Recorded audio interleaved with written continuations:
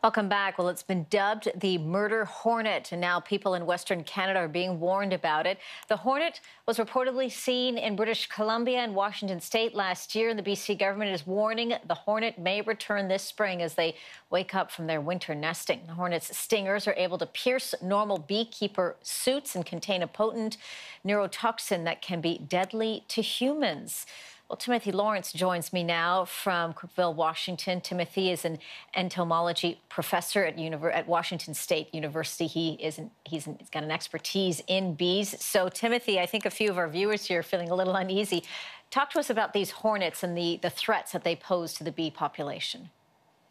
Well, first of all, the uh, name murder hornet is a misnomer. They're uh, a large, aggressive hornet when they're uh, defending their nest or when they're uh, harvesting pupa or larvae from honeybee colonies. But uh, you know they're not going to be chasing school buses down the road. So people should not totally freak out about this. It's a, it is a concern for honeybee populations, but we don't know the extent of the infestation either in BC or in Washington, and uh, we don't know exactly what the economic impact will be if they are established. If they are, and they're fair. Okay, I'm glad that you uh, you clarified that because, of course, there is a lot of bit of concern. And these are fairly large type of bug, as we're showing some uh, viewer, um, we're showing, showing, some footage here to our viewers.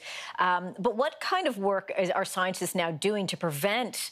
this population, this type of hornet population from growing? As you say, we're not sure what the extent is going to be, but what measures are being taken?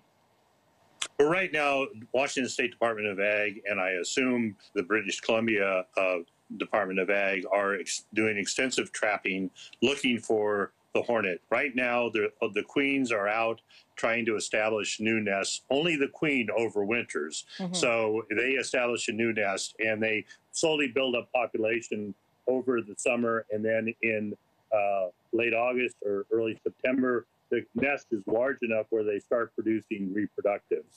And at that point, the demand for carbohydrates drops and the demand for protein increases. So they're really going after those juicy, fatty young larvae and pupa from honeybee colonies. Right. And honeybees don't have a natural defense mechanism mm -hmm. like the Asian bee does have. And that, and you mentioned the Asian bee there. We were talking about Japanese bees, and we had, and, and you can talk to us a little bit more about the, you know, or clarify for us they figured out how to defend themselves against these hornets by swarming them, creating a, a bit of a heat circle, if you will, and that actually kills the hornet.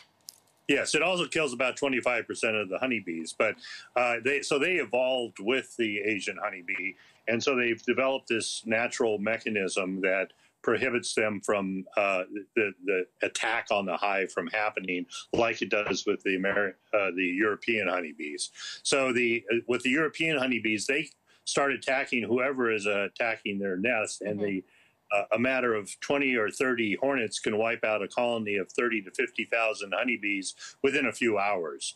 And then the hornets enter the hive and consume the uh, pupa and then the larva of the, the colony because of the high protein content that they need to feed their reproductive.